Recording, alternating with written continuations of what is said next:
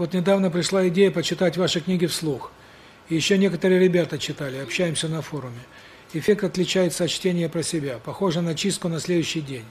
Там говорили, что даже опытные там лазаревцы до 20-летние их так плющит после вслух прочтения.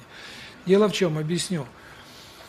А, дело в том, что я книгу, когда пытался писать, у меня пошел блок, меня начало ломать, э, крутить, и я понял, что мне нельзя писать книги.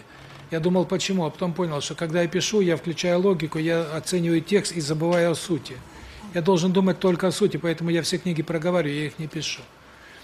А потом редактор должен привести то, что я сказал, в соответствии с тем, что человек видит.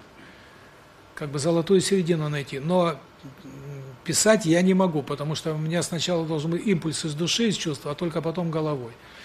Поэтому, если книги проговаривают, то, по сути дела, человек подсоединяется именно к тому состоянию, в котором я пишу, а не в котором я, скажем, читаю.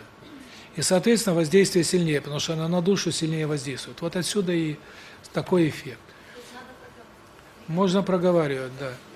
Ну и потом слово, оно сильнее воздействует на душу, чем просто, так сказать, про прочитанное, скажем, где-то.